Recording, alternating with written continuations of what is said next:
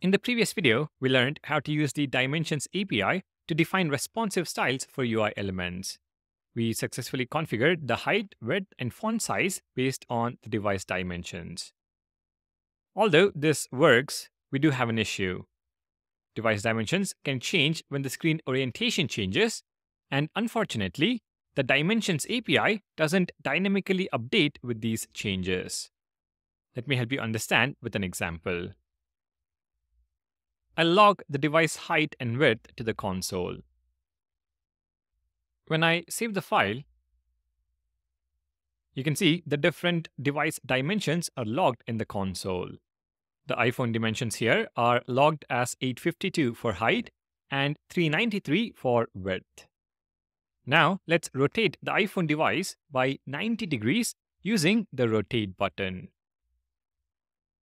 Although the device switches from portrait to landscape mode, our app doesn't seem to adapt to the orientation changes as expected. Ideally, the welcome text should also rotate similar to how one would read on portrait mode.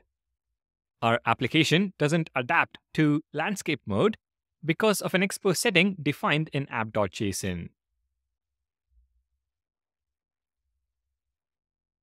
By default, the orientation setting is fixed to portrait mode. As a result, our UI is tailored solely for portrait orientation. Let's adjust this to default. Now, when I save the file, press R to restart the server.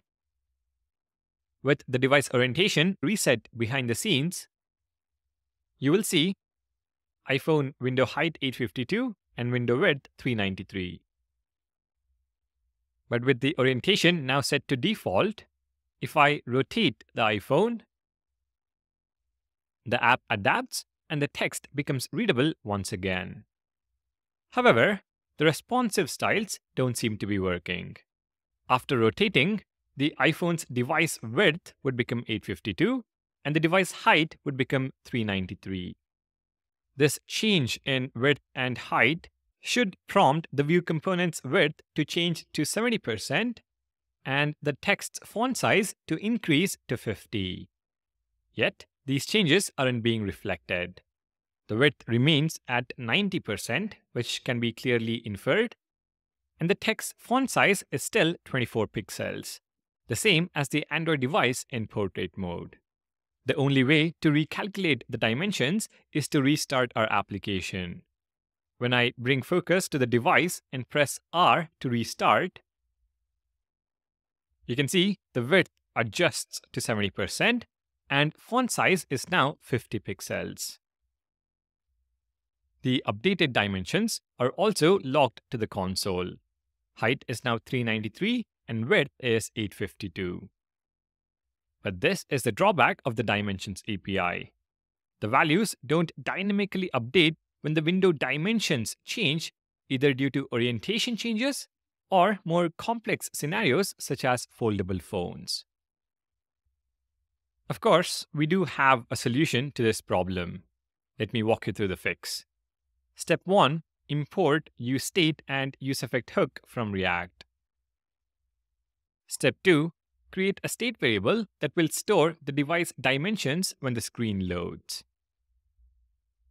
So we invoke useStateHook, pass in an object. This will have a key called window, which is set to dimensions.get. Step 3, add an effect that listens to changes in the device dimensions and updates the dimensions state value. We will listen to dimension changes using the static method add event listener on the dimensions API and this will return a subscription. So const subscription is equal to dimensions.addEventListener. We listen to changes in the dimension and we execute a callback function. This receives an object from which we destructure window and we call set dimensions setter function passing in window. We will also clean up the subscription.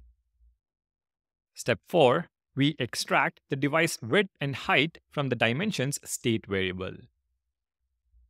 So const window from dimensions window width is equal to window dot width and const window height is equal to window dot height. Step 5, which is the final step, add inline styles that dynamically change based on the device dimensions. So comment out the two lines outside the component, width and height calculation in the stylesheet API, and the entire text key as well. On the text component, replace the entire styles.text with an object where we set font size to window width is greater than 500, 50, if not 24. For the view container, we use the array syntax to extend the styles.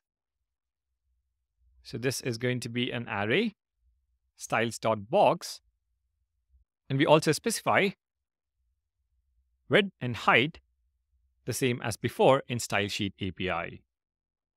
Let's also make sure to comment out the console log statement. If we now save the file and go back to our iPhone device, you can see the default portrait orientation still works. But when we change to landscape, the width and font size are adjusted 70% and 50 pixels. We are able to add dynamic styles to our UI elements based on device dimensions.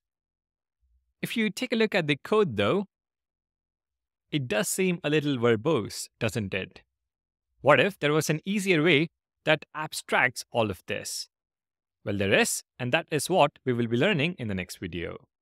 Thank you for watching. Please do consider subscribing to the channel, and I'll see you in the next one.